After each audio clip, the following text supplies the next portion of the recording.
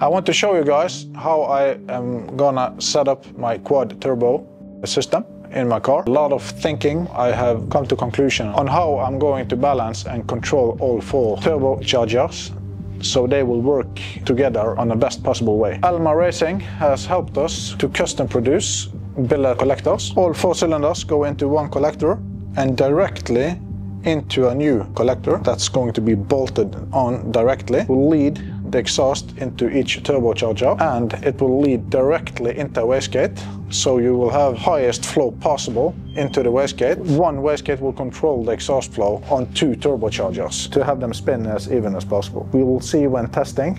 I've never seen a solution like this before. Hopefully it will work. This is on the passenger side and we have we will have a similar setup on the driver side. This is just a SketchUp on how my thinking uh, about this uh, quad turbo setup is.